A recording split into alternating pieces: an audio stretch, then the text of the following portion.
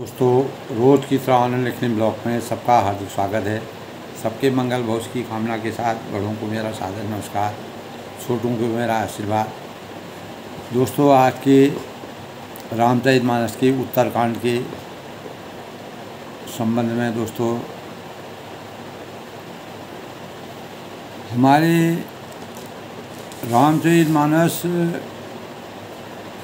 के स्मरण करने से पहले दोस्तों, हमारे जीवन के लक्ष्य का उद्देश्य होना चाहिए कि मनुष्य में देवत्व यानी मनुष्य में देवत्व का उदय और धरती पर स्वर्ग का अवतरण। व्यक्ति के निर्माण परिवार निर्माण और समाज निर्माण की भावनाओं को, की उत्पत्ति का सुंदर इतिहास रचना स्वस्थ शरीर, स्वस्थ मन और स्वस्थ समाज की संरचना को बल देना। मर्यादा, संस्कार और आदर्शता के मानकों का अपने जीवन में हमेशा अनुपालन करना। और आत्मवत सर्वभूतेषु वसुदेव कुटुंबकम की भावना का सर्वे संतु सुखिनो, सर्वे संतु निरामया, सर्वे भद्राण पश्यंतु माँ कश्चित दुख भाग तो इन भावों के अंतकरण में विराजमान करने से हमारे अंतकरण में वसुदेव कुटुंबम की भावना का समावेश होता है, जिसके परिणामस्वरूप आत्मत हम सर्वभूतेशु की कल्पना करने में समर्थवान होते हैं। और रामचरित मानस के अध्ययन से दोस्तों, हमारे जीवन में अनेक प्रकार के जो लिंग भेद हैं जाति भेद हैं वर्ग भेद हैं, से ऊपर उठकर सबको विकसित और विकास और उन्नत जीवन की कल्पना करना। जैसे राम राज बैठे त्रिलोका हसित भय गए सब सोता तो रघु कुल रीत सदा चली आई, प्राण जाए पर बचन जाए। तो संकल्प शक्तियों की पराकाष्ठा का मानक रामचरित मानस के अनुसरण करने से हमारे जीवन में अज्ञान रूपी अंधकार से हमेशा तिलांजलि देते हुए ज्ञान रूपी प्रकाश का संचार करना, इसी प्रेरणा से अभिभूत होकर उत्तरकांड में दोस्तों, काकभूषण जी के जीवन में जिस प्रकार के भावों का संचार हुआ और उसका विस्तार से वर्णन हम कर चुके हैं दोस्तों। और गरुड़ जी को जिस प्रकार से वह एक तुलसीदास जी ने एक पक्षी के स्वरूप में किस प्रकार का भगवान का कैसे चिंतन विराजमान हो जाता है, उसकी वास्तविकता को मानव चेतना तक अवतरित करने का प्रयास किया है, ताकि मानव में चेतना का उदय हो और हम अज्ञान से ज्ञान की प्राप्ति करें। तो हमारे जीवन में दोस्तों, नियम है, धर्म है, आचार है, उत्तम आचरण है, तप है, ज्ञान है, यज्ञ है, जप है, दान है। और भी करोड़ों प्रकार के जो मानव जीवन जब रुग्ण हो जाता है, मानव जीवन जब रुग्ण हो जाता है तो ऐसी अवस्था में उसको विभिन्न प्रकार की औषधियों की आवश्यकता हो जाती है। शरीर को दुरुस्त करने के लिए। तो ये हमारी औषधि के समान हमारे जीवन में काम करते हैं। तब गरुड़ जी को काकभूषण जी जी कहते हैं कि उनसे ये रोग नहीं जाते हैं। किनसे? जो हमेशा अनेक प्रकार के बुराइयों में लगे रहते हैं और जिनको, यानी अहंकार हो और दम्भ हो, कपट हो, मद हो, मान हो तो ऐसे लोगों को विभिन्न प्रकार की बीमारियों से वह आसक्त हो जाते हैं, जिनको नरुआ या नरु, नसों का रोग कहते हैं तो तृष्णा बड़ा भारी उदर वृद्धि या जलोदर रोग है। तीन प्रकार के पुत्र, मोह, धन मोह और मान सम्मान मोह की जो प्रबल इच्छा मानव में होती है। एक तिजोरी में जिस प्रकार से हम धन संचय करने का के भावों का संचय करते हैं। इस प्रकार हम अपने अंतकरण में इन भावों को जगाते हैं। तो मत्सर और अविवेक दो प्रकार के ज्वर हैं। इसे इस प्रकार अनेकों बुरे रोग हमारे कहाँ तक उनका वर्णन करें। तो इस प्रकार जो असाध्य रोग हमारे जीवन में होते हैं वह असाध्य रोगों को दूर करने के भाव हैं। नियम, धर्म, आचार संहिता, तप, दान, यज्ञ, जप, दान। लेकिन और भी करोड़ों औषधियाँ हैं जिनके परिणाम स्वरूप हमने बुराइयों को दूर करते हैं। तो इस प्रकार जगत में समस्त जीव रोगी है दोस्तों। यही विधि सकल जीव जग रोगी शोक, हर्ष, भय प्रीत वियोग जो शोक, हर्ष भय प्रीति और वियोग के दुख से और भी दुखी हो रहे हैं। तो मानस रोग कसुक में गाए और मैंने थोड़े से मानस रोग कहे हैं, ये हैं। तो सबको परंतु इन्हें जान पाए, कोई बिरले ही इसके वास्तविक बातों को जान सकते तो जाने ते छीज ही कछु पापी नाश न भाव ही जन परिता विषय कुपत्ति पाए अंकुरे, मनो हृदय का नरवा। यानी पापियों, यानी जो भी इस प्रकार के प्राणी हैं, वो जलाने वाले से पापी रोग जान लिए जाने के लिए कुछ क्षीण अवश्य हो जाते हैं। परंतु नाश को प्राप्त नहीं होता। विषय रूप यानी कुपर्थी पाकर ये मुनियों के हृदय में भी अंकुरित होते हैं। कभी कभी उनके अंतर्गण में के भावों का संसार हो जाता है। तब बेचारे साधारण मनुष्य तो कोई चीज़ ही नहीं। तो यदि श्री राम जी की कृपा से उस प्रकार का संयोग बन जाए तो सब रोगों का अंत हो जाता है। जब राम कृपा नाश ही सब रोग। सभी रोगों का अंत का के का अंत तभी हो सकता है जब हम मर्यादा पुरुषोत्तम भगवान राम जी के यश का गुणगान करें, उनकी वास्तविकता को जानें। और राम कृपा नाशई सब रोगा, जो यही भांति विनय संग सदगुरु वेद वचन विश्वासास संयम या न विषय कयास और सदगुरु रूपी जो वैद्य के वचन हमको वैद्य जो हमको बोलते हैं, जिस प्रकार की दवा देते हैं, उससे हम, हमको जब विश्वास हो जाता है तो विषय की आशा से हम अलग हो जाते हैं। यही संयम यानी दवाओं के खाने से जो परहेज़ हमको करना चाहिए वह परहेज़ की पराकाष्ठा है। तो मर्यादा पुरुषोत्तम भगवान राम जी की भक्ति एक संजनी बूटी के समान है, जड़ी के समान है। जो कि संजनी बूटी दोस्तों, जब लक्ष्मण जी को मेघनाथ ने सर्व बाणों से प्रहार किया, तब उनको शक्ति लग गई थी, जिसके परिणाम स्वरूप हनुमान जी सुमेर पर्वत में जा कर के वहाँ से संजनी बूटी लाए थे। तब लक्ष्मण जी जो शेषनाग के अवतारी थे, उनका, उनको जीवन दान प्राप्त हुआ।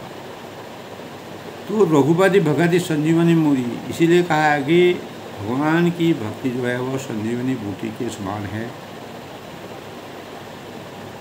और श्रद्धापूर्ण अगर हम उसकी बुद्धि में अनुमान करते, अपने दवा के साथ उसको लेते हैं तो वह हमारे लिए मधु बन जाता है।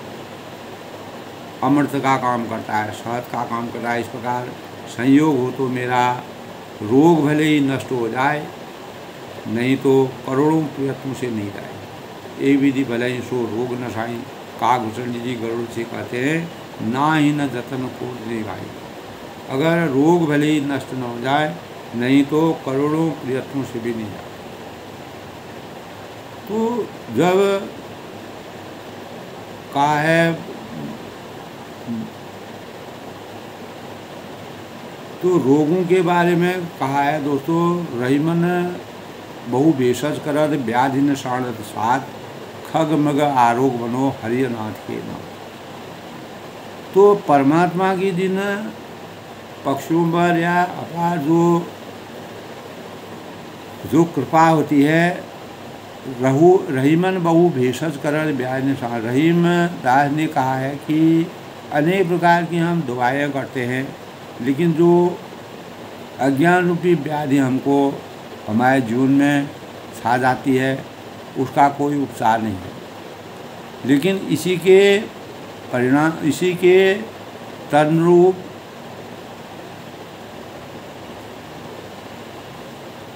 रहीमन बहु भेषज कर व्याधिन छोड़ सार, खग मृग आरोग बनो खग मृग अनेक प्रकार के पशु पक्षी जो है, जो जिनको कोई देख रेख करने वाला नहीं है, केवल अपने सामर्थ्य पर जो जीते हैं, उनका परमात्मा साक्षी होता है। क्योंकि वह इस संसार में अनेक प्रकार के भवबंधन के से दूर रहते हैं, जिसके परिणामस्वरूप उनके आश्रयदाता केवल परमात्मा है।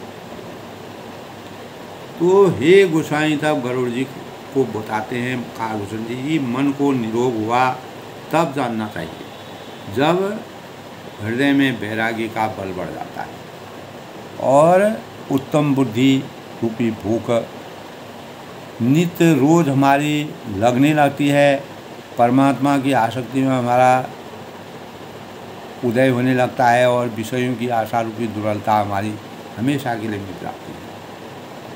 तो ऐसे भावों से तो इस प्रकार सब रोगों से छूटकर जब मनुष्य निर्मल ज्ञान रूपी जल से स्नान कर लेता है।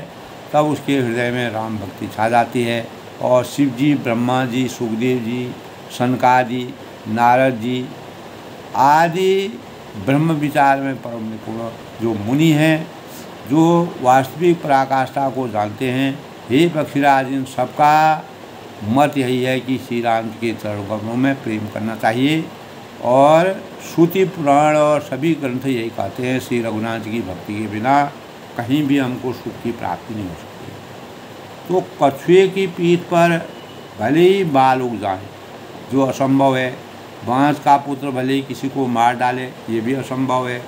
आकाश में भले ही अनेकों प्रकार के फूल खिल जाए, ये भी असंभव है। परंतु श्री हरि के विमुख होकर अगर ये चीज़ें कभी संभव हो भी जाएँ तो अगर परमात्मा हमसे विमुख है, जीव सुख न प्राप्त कर सकता है। जो, कोई भी जीव इस संसार में आगे सुख की प्राप्ति नहीं कर सकता है। तो मृगदर्शना के जल को पीने से भले ही प्यास बुझ जाती हो और खरगोश के सिर पर भले ही सींग निकल जाते हैं। यानी अनहोनी चीज़ें भी अगर होनी हो जाती हैं तो अंधकार भली सूर्य का नाश कर दे, परंतु श्री राम जी के विमोह का जीव कभी भी सुख की प्राप्ति नहीं कर सकता बर्फ़ के, बर्फ़ से अगर अग्नि भी प्रकट हो जाती है, अनेक प्रकार के उन्होंने इस प्रकार के तुलनात्मक अध्ययन किया है, तुलसीदास जी ने। सब अनहोनी बातें चाहे हो जाएँ, जो असंभव है वो भी संभव हो जाए, परंतु श्री राम जी के विमुख पर कोई भी सुख की प्राप्ति, हम वास्तविक सुख की प्राप्ति का आनंद उठा तो जल को मतने से भले घी उत्पन्न हो जाए, जल को मरने से कभी घी प्राप्त नहीं हो सकता है। और बालू को पेलने से कभी तेल की उत्पत्ति नहीं हो सकती है। श्री हरि के भजन के बिना संसार रूपी समुद्र से हम पार नहीं हो सकते। तो इसी स्वरूप में जो है पूर्ण का प्रभु यानी प्रभु मत्सर को ब्रह्मा कर सकते हैं, उन्होंने ये भी कहा, ब्रह्मा को मत्सर यानी तुच्छ भी बना सकते हैं। ऐसा विचार कर चतुर पुण्य, सब संदेह त्याग श्री राम जी को ही बसते हैं। अंततोगता सभी मर्यादा मतलब परमात्मा की आसक्ति में जाते हैं। तो इस प्रकार दोस्तों, कल के प्रसंग की जो बातें थी तो उसी के आज का पंचांग आज 22 अक्टूबर 2024 कार्तिक माह के कृष्ण पक्ष की षष्ठी तिथि। मंगलवार का दिन है, षष्ठी तिथि आज दोस्तों एक बजकर तीस मिनट तक रहेगी। आज सुबह दोस्तों आज आठ बजकर छियालीस मिनट तक परि की योग का संयोग रहेगा। उसके बाद शिव योग लग जाएगा और आर्दा नक्षत्र पूरी रात और पूरा दिन, संपूर्ण दिन रात रहेगा। आज के शुभ मुहूर्त की बात करें तो अभिजीत मुहूर्त दोस्तों ग्यारह बज के अड़तालीस मिनट से बारह बज के तैंतीस मिनट तक और अमृतकाल आज का दोस्तों सात बज के तैंतालीस मिनट से नौ बज के अठारह मिनट तक। ब्रह्म मुहूर्त चार बज के पचपन मिनट से पाँच बजकर तैंतालीस मिनट तक। राहु काल आज का उसका दो बजकर पचपन मिनट से चार बजकर उन्नीस मिनट पर इस दौरान किसी भी शुभ कार्य को करना वर्जित माना गया है, मना ही है। सूर्योदय आज छः बजकर इकतीस मिनट पर होगा और सूर्यास्त जो है पाँच बज के इक्यावन मिनट इस प्रकार के आज के शुभ मंगलकारी पंचांग का स्वरूप है दोस्तों की आज किस प्रकार का के भाव होंगे। है और मंगलवार की प्रकृति उग्र होती है। और यह दिन हनुमान जी का और मंगल देव को समर्पित माना जाता है। प्रत्येक कार्य में हनुमान जी की कृपा से मंगलकारी परिणाम प्राप्त होने के भाव होते हैं। मंगल को करने मंगल ही भरने मंगल, मय हनुमान जय। जय हनुमान ज्ञान गुण सागर, जय कपि स्थिर लोग जागर। राम दूत अतुलित बलदामा अंजनी पुत्र पौर सुकामा। नासय रोग हरेश पीरा, जगत निरंतर हनुमत बलिरा जय जय जय हनुमान उषाई, कृपा करूँ देख हनुमान ते ही परसा, कर पुण्य की प्रणाम। राम काज की ने भी नाम वो ही कहाँ तो हनुमान जी ने जब सभी लोगों को रामचंद्र ने कहा था कि मतलब सभी को मैंने कुछ ना कुछ वरदान दे दिया, विभीषण को राजपद दे दिया, जो भी मेरे भक्त थे सभी को सबको दे दिया। तो हनुमान जी से कहा कि तुमको तो मैंने कुछ भी नहीं दिया, जबकि तुमने, आपने जो है हमेशा मेरे सानिध्य में और मेरे बड़े बड़े काम किए। और इस प्रकार के काम के जो मानव रूप में अवतरित होकर के कोई भी नहीं कर सकता है। तब हनुमान जी ने कहा कि औरों को तो केवल एक पद मिला है। जितनों को भी आपने आज तक वरदान दिए हैं, केवल एक पद दिया है। और मेरे को आपने आपके दोनों पदों में मेरा मस्तक, मेरा मैं अपने सिर को नवाता हूँ, उसका आनंद लेता हूँ तो मेरे तो मेरे को तो दो पद आपने दिए। इससे बड़ा इससे बड़ा मेरे लिए जीवन में कुछ भी नहीं हो सकता। तो इस प्रकार मंगलवार को दोस्तों हनुमान चालीसा का पाठ करना चाहिए और मंगलवार का व्रत उपवास रखने से जीवन में अनेक प्रकार के शक्ति का, शक्ति के भावों का संचार होता है। मंगलवार ब्रह्मचर्य का दिन माना जाता है। शक्ति के संचार का यह दिन हनुमान जी की पूजा अर्चना, हनुमान चालीसा पाठ करना, सुंदरकांड का पाठ करना। तो इससे ज्ञान की वृद्धि होती है, शांति का संचार होता है। हनुमान जी की उपासना करने से मंगल का अर्थ होता है दोस्तों, शुभता। यानी शुचिता या कुशलता।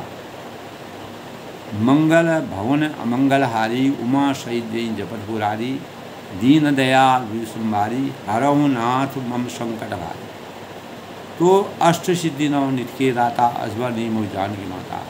राम रसायन तुमरे पासा सदा रहो रघुपत की दासा। तो राम रसायन तुमरे पासा सदा रहो रघुपत की दासा। तो मंगलवार के दिन जन्मे जो भी तो मंगलवार को जन्मे जो जातक होते हैं, अत्यधिक वफादार होते हैं, भरोसेमंद होते हैं और आस्थावान होते हैं। तो पावन मंत्र हनुमान जी का है मनोजयं मारुत तुल्य बेगंग जितेंद्रिय बुद्धिमतांग वरिष्ठम वाता, वात आत्मजं बानरंग यूथं मुख्यंग श्री राम दूतं शरणम प्रपद्ये। जहाँ हनुमान प्रसन्न होते हैं भक्तों से, तब सुख समृद्धि और मनोवांछित फलों की प्राप्ति होती है।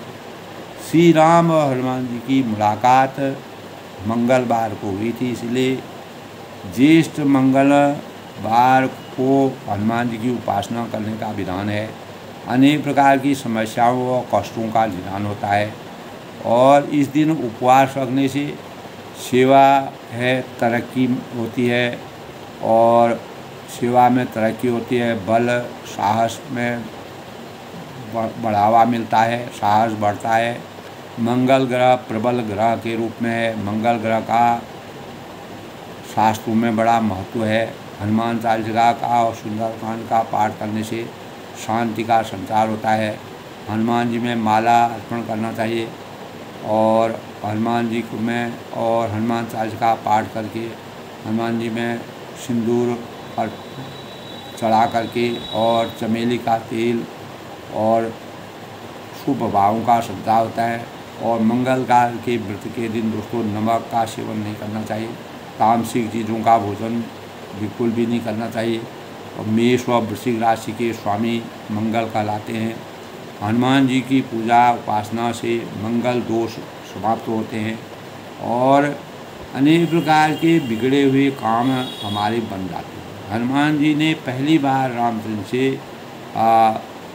ऋषिपूक ऋषिपूक पर्वत पर जो है ब्राह्मण के रूप में उन्होंने मुलाकात की थी और निष्काम भक्ति, निस्वार्थ भक्ति, भावों से अपने जीवन को और परमात्मा की शक्ति में पूर्ण रूप से समर्पित किया था। तो हनुमान को इसीलिए दोस्तों प्रमुख देव यानी उनको एक एक सुपरमैन के रूप में माना जाता है और पावरफुल उनको कहा जाता है और बजरंग बली ईश्वर की प्राप्ति में समर्पण के जो भाव उनके थे और अपने भक्तों की सहायता करने में वो निपुण थे। और आज भी दोस्तों, भगवान ऐसा हमारे शास्त्रों में है कि मैं कलयुग में अवतारी देवता के रूप में माने जाते हैं। तो इस प्रकार हनुमान जी के जीवन से तो संतोष साधना जो हनुमान जी के अंतकरण में किसी प्रकार के स्वार्थ से रही संतोष साधना का पाप के भाव थे। तो मनुष्य को सुधा का अंत नहीं है। तो लोग अरों लाखों, यानी लखपति होते हैं, करोड़पति बनना चाहते हैं, क्योंकि वह लाख रुपए पाकर भी संतुष्ट नहीं होते हैं। गोधन, गजधन बाज धन और रतन धन खान, जब आवे, संतोष न सब धन दूर जा। अनेक प्रकार, इस प्रकार के लोग अपेक्षाएँ और महत्वाकांक्षाएँ बढ़ती हुई अपेक्षाएँ और महत्वाकांक्षाएँ करोड़पति तब एक करोड़पति से पूछा गया कि क्या इतने रुपए पाकर वह सुखी है। तो वह कहेगा कि रुपया कहाँ है, किसी प्रकार से दिन काट रहा हूँ। अगर वह करोड़पति भी होगा, अरबपति भी होगा, वो यही कहेगा कि मेरे पास पैसा है तो रुपया कहाँ है, किसी प्रकार में अपने दिन काट रहा हूँ अधिक संपत्ति रखने के बावजूद ऐसे व्यक्ति को अभाव बोध होते रहना और अपरिग्रह विरोधी भाव होते हैं। तो काकभूषणी जी ने गरुड़ जी को इन्हीं भावों से मर्यादा पुरुषोत्तम भगवान राम की भक्ति सबसे बढ़कर है और इसका उसके देह और मन पर बुरा प्रभाव पड़ता है। अगर हम सब कुछ होते हुए उसको मना करते हैं तो परित्याग करते हैं तो शरीर और मन को अत्यधिक लोभ लालसा से बाँध कर जब मनुष्य रखता है तो ज़रूरत से अधिक धन संचय करने लगता है। इसीलिए मन मन को कभी भी तृप्ति नहीं होती है, विश्वास नहीं होता है। संतोषम परम सुखम की आसक्ति हमारे अंतःकरण में नहीं होती। तो इसीलिए मन में विश्वास नहीं होने के कारण प्रश्न यही उठता है कि शरीर पर इसका कैसे बुरा असर पड़ता है और चूँकि मन को संतुष्ट करने करने की जो लालसा हमारे अंतकरण में होती है तो वही तो जिसके परिणाम स्वरूप स्वाभाविक परिश्रम करता, यानी फिर भी मतलब वह चूँकि मन की संतुष्टि करने की लालसा में मनुष्य स्वाभाविक परिश्रम करता रहता है। और इस क्रम में वह अपने शरीर को सामर्थ्य से ज़्यादा बोझ डालता है। यानी महत्वाकांक्षाएँ जैसे जैसे बढ़ती है तो हमारे जीवन में बोझ बढ़ता रहता है। वही व्यक्ति द्वारा शरीर पर सामर्थ्य से अतिरिक्त तो बोझ न देकर, जो धन का या संपत्ति जो उसने उपार्जित की अर्जित की है, अगर वह उससे तृप्त रहता है उससे सुखम संतोषम की अनुभूति करता है और संतोष की साधना करता है। तो तो तो उस संतोष का अर्थ हुआ कि दोस्तों सभी प्रकार के आराम की अवस्था में आना। यानी कुछ भी हो उसी अवस्था में सब प्रकार के सुखों की प्राप्ति करना, यही संतोष सभी प्रकार के आराम की अवस्था को प्राप्ति करना। हालाँकि संतोष साधना का उद्देश्य यह नहीं है कि कोई आपको किसी प्रकार ठग ले या आपके ऊपर अत्याचार करे, अभिशाप करे, आप उसे सह लें। यह नहीं है। अस्तित्व की रक्षा के आगे अपने अधिकार या अपने न्यायोचित भावना का त्याग करना किसी भी तरह से उचित नहीं है तो जीवन के सभी क्षेत्रों में अपने अधिकारों को प्रतिष्ठा के लिए मनुष्य की सदैव संग्राम करते रहना चाहिए, परिश्रम करना चाहिए, परिश्रम ही सिद्धंति कार्याणी न मनोरथी नहीं सुत्ता ऐसी बनो मुखे मृगा। मनुष्य की सदैव संग्राम करते रहना, ये मनुष्य की अभिलाषा होनी चाहिए।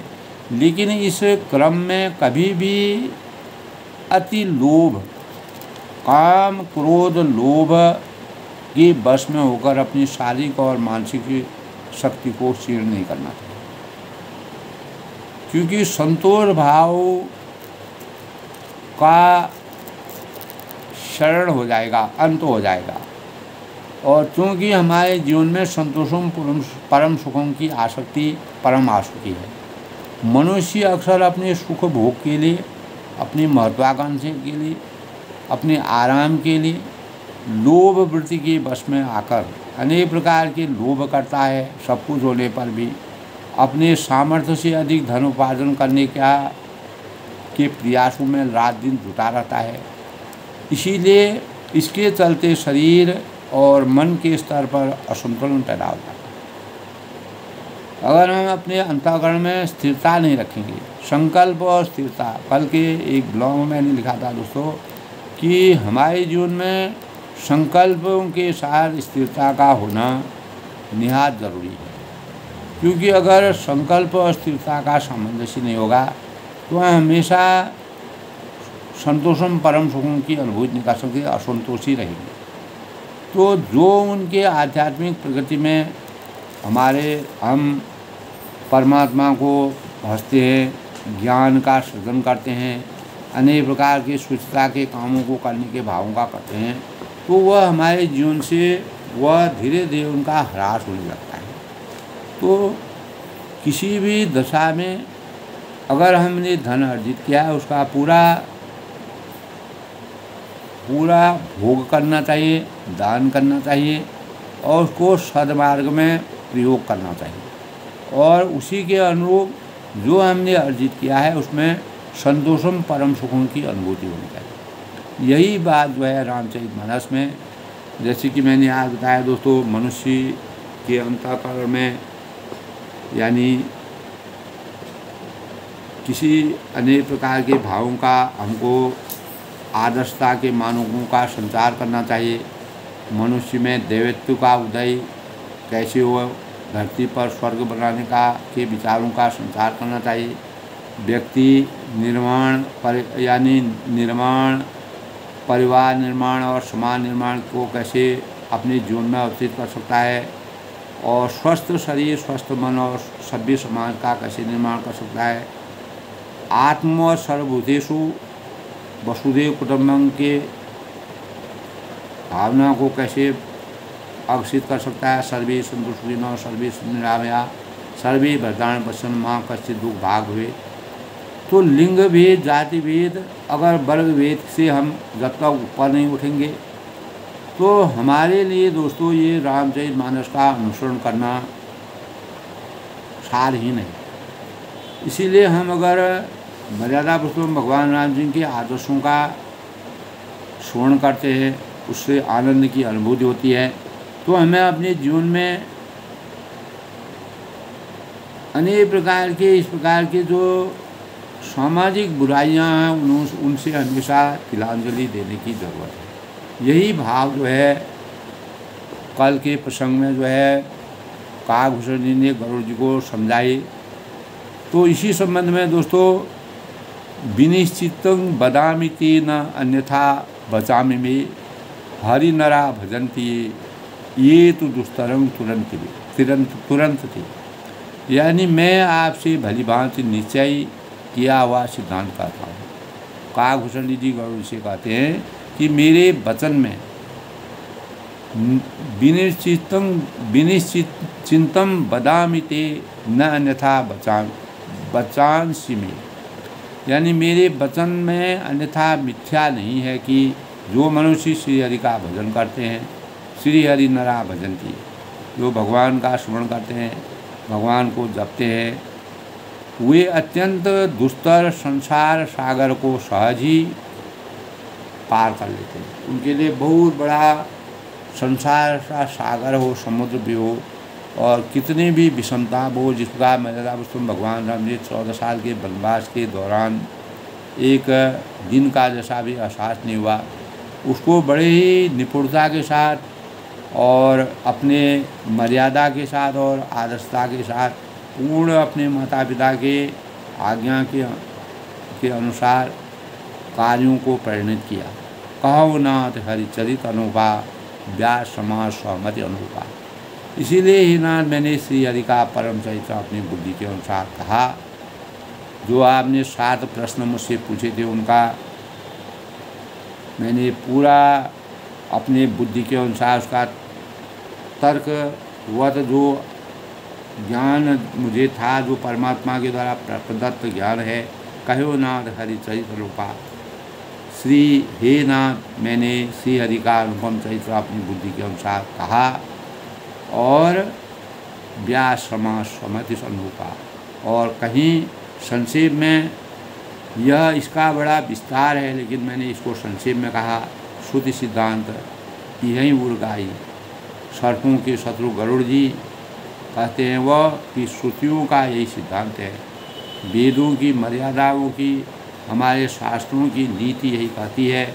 यही उपदेश है, यही सिद्धांत है कि सब काम भुलाकर छोड़कर श्री राम जी का भजन करना चाहिए। यानी अपने कर्म पथ पर अविरल रहते हुए परमात्मा का ध्यान मर्यादा पुरुषोत्तम भगवान राम के स्वरूप में अपने को समर्पित करने के भाव का संचार करें। इससे दूसरी और हमारे बीमारियों की और कोई दवा नहीं यही हमारी सबसे बड़ी औषधि है। प्रभु रघुपति तजी से कार्य प्रभु श्री राम रामचंद्र को छोड़कर और किसका सेवन किया जाए? और हम किसी चीज़ का भी सेवन नहीं कर सकते।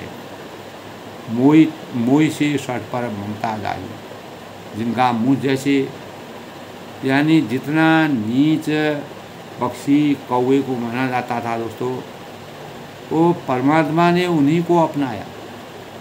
तो भगवान जो है, कहाँ अवतरित होंगे, किसके मन में, किसके लिए वह अपनी कृपा बरसाएँगे, यह कोई नहीं जानता है, क्योंकि उनकी लीला अपरंपार है।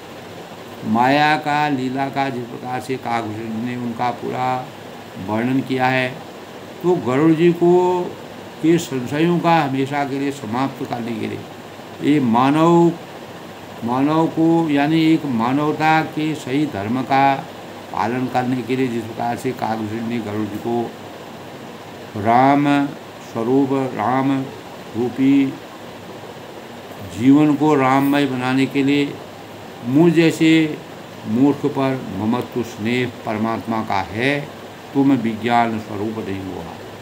तब कहते हैं कि, हे नाथ, आप विज्ञान रूप हैं। तब गरुड़ जी कहते हैं कि, आप विज्ञान रूप है, आपको मोह नहीं है। लोभ, मोह, शोभ, यही आपके अंतकरण में नहीं है। आपने पूर्ण कौवे के रूप में भी अपने जीवन को इतना समय था परमात्मा की भक्ति में आसक्त होकर इसीलिए आपको इच्छा मृत्यु और तथा गति मिली, यानी जहाँ आप जाना चाहते हैं, वहाँ आप चले जाते हैं। आपने तो मुझ पर बड़ी कृपा की, अपार दया की, जो परमात्मा के अंतकरण तक, यानी जगत, पूरे जगत का और पूरे ब्रह्मलोक का जो सार संक्षेप या विस्तार में जो सार मुझे बताया, पूछो राम कथा दीपावली, जो आपने मुझसे सुखदेव जी सनकादि जी और सुख सनकादि शंभुमन भाव शिव जी के मन को विप्र लगने वाली अति पवित्र राम कथा पूछी तो सत्संगत दुर्लभ संसार। तो संसार में घड़ी भर के लिए भी अगर पूर्व एक क्षण भर के लिए भी अथवा पल भर के लिए भी एक बार भी सत्संग अगर प्राप्त हो जाए तो उससे जीवन का उद्धार उसी में है। तो मर्यादा पुरुषोत्तम भगवान राम जी को काभूषण जी को लंबे समय तक सत्संग करने का जो प्रवचन का भागी बनाया और यही उनकी भक्ति भावों का और उनके अंतकरण में एक कौए के रूप में जिस प्रकार के भक्ति भावों का संचार हुआ, वह दोस्तों वास्तव में अवर्णीय है, अकथनीय है। तो इस प्रकार तुलसीदास जी ने मर्यादा पुरुषोत्तम भगवान राम जी की कृपा किस पर हो जाए। इसी का वर्णन बड़े ही सुंदर ढंग से किया है, मार्मिक ढंग से किया है तो सत्संग बड़ा दुर्लभ होता है। हर एक व्यक्ति सत्संग के सानिध्य की प्राप्ति नहीं कर सकता है, क्योंकि देख गरुड़ निधि हृदय विचार हे गरुड़ जी अपने हृदय में विचार कर देखिए। अपने अंतकरण में पूर्ण रूप से इन भावों को लाइए, विचार करिए कि मैं रघुवीर भजन अधिकारी क्या मैं भी श्री राम जी के भजन का अधिकारी हूँ? यानी मैं, मुझे जो परमात्मा की आसक्ति प्राप्त हुई है, मेरे अंदर जो अभी भी अज्ञान बड़ा बड़ा है, उसके लिए क्या मुझे और भी कुछ भगवान की कृपा की ज़रूरत है? शकुना धम सब भांति अभाव। यानी पक्षियों में सबसे नीच और सब प्रकार से अपवित्र है। मानव तो मानव है, उसके बाद पक्षी है, पशु है। तो पक्षियों में सबसे नीच जाति का पक्षी कौवा कहलाता है और जो अपवित्र कहलाता है। अगर कौवा किसी को छू जाता है तो वह अपवित्र माना जाता है। हमारे शास्त्रों में ऐसा भी कहा गया है दोस्तों। तो पक्षियों में स्वयं का अवसर नीच कहते हैं कि पक्षियों में सबसे नीच पक्षी मैं हूँ। सब प्रकार से मैं अपवित्र हूँ। माने नहीं, पवित्र नहीं हूँ। अर्थात मैं सही ज्ञान का, वास्तविक ज्ञान के स्वरूप का सृजन मुश्किल मेरे अंदर नहीं है। परंतु प्रभु मोही कीन विदित जग पाओ परंतु ऐसा होने पर भी पूर्णि मुझको ही अपनाया और जगत को पवित्र करने वाला प्रसिद्ध कर दिया। काभूषण जी जी इसीलिए रामचरित मानस में एक पात्र के रूप में तुलसीदास ने इस प्रकार का वर्णन किया है कि मर्यादा पुरुषोत्तम भगवान राम जी रामचंद्र ने कैसे कहाँ जन्म लिया और कहाँ लोक कल्याण के कार्य किए और एक अंतिम पायदान में बैठे हुए पशु पक्षी और नर लीला करके अनेक मानव चेतना को जगाने का कार्य किया। तो जगत को पवित्र करने वाला प्रसिद्ध मुझे बना दिया काकभूषण जी कहते हैं। ये भगवान की अपरम्पार कृपा है, उनकी दया है और उनकी छत्र छाया के अंदर हम जी रहे हैं अथवा प्रभु ने मुझको जगत प्रसिद्ध पावन कर दिया, मुझे पवित्र कर दिया। हमेशा के लिए धन्य के कर दिया। सौ हज़ार वर्ष तक जो मैंने कौवे के रूप में उनकी बाल लीलाओं को देखा, उनके वर्णन को देखा, उनके पूरे विस्तार को देखा। तो मेरा हृदय उसी रूप में जो है मैं गदगद हो गया। गरुड़ जी ने इसलिए पूछा था कि आपने का का जीवन ही क्यों प्राप्त किया? और आपके सत्संग में इतना लम यानी सत्संग आके सत्संग में हम माया, अज्ञान रूपी अंधकार, माया, मोह इत्यादि सब भूल जाते हैं। और परमात्मा की आसक्ति सबसे आप पर कैसे हो तो इन भावों को आभूषण ने पूर्ण रूप से गौरव जी को समझाकर, उनके संदेह को, ये मानव जीवन के लिए एक प्रकार की प्रेरणा है दोस्तों, कि भगवान किस पर, कैसे, कहाँ और कौन सी दशा में उसकी परीक्षा लेते हैं, उस पर उसके ज्ञान चक्षुओं को खोलते हैं उस पर भगवान का कृपा बरसती है। और यह बड़ा दुर्लभ है। तो काघुसरनी जैसे नीच जो अपवित्र पशु, पक्षी माने जाते थे, उनको भी भगवान रामचंद्र ने ग्रहण किया। तो उनके अंतःकरण में दोस्तों किसी प्रकार के लिंग भेद, जाति भेद, वर्ण भेद, समाज, यानी कि इससे वह ऊपर उठ के तुलसीदास ने इसका रामचरित मानस का वर्णन किया।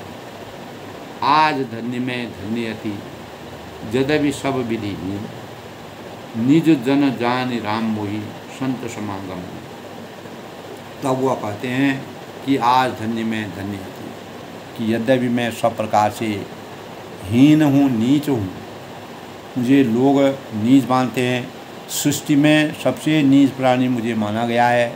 तो भी आज मैं परमात्मा के का आशीर्वाद मुझे प्राप्त हो गया। परमात्मा की भक्ति में मैं लीन हो गया। तो मैं अपने को धनी समझता हूँ। और जिसके परिणाम स्वरूप निज जन जान राम मोही संत सवाना। और अत्यंत धन्य हूँ, जो श्री राम जी ने मुझे अपना अपना निज जन जान करके। इसी प्रकार केवट को उन्होंने निज जन जाना, अहिल्या को उन्होंने निज जन जाना, और जटायु को उन्होंने निज जन माना, और विभीषण को उन्होंने निज जन माना। जो जो मर्यादा पुरुष भगवान रामचंद्र जी के जीवन में इस प्रकार के उनके शरण में आए, उन्होंने उनको अपने सानिध्य में रख कर के निज जन अपना सेवक जानकर, अपना सहायक जानकर उसको अपने हृदय से लगाया और संत समागम दिया। आपसे मेरी भेंट कराई। गरुड़ जी पक्षियों के राजा माने जाते हैं, उनसे भेंट कराई। तो वह इस बात के लिए धन्यवाद। यानी गरुड़ जी का स्नेह उनको प्राप्त हुआ। तो परमात्मा की कृपा का मैं हमारे हमेशा के लिए ऋणी हूँ। और ऐसे नीच पक्षी को जिन्होंने अपने शरणागत रखा तो नाथ जथा मति भाषू राखू नहीं कछबोल सही सिंधु गर्व गुनाय को था कि पाओ को।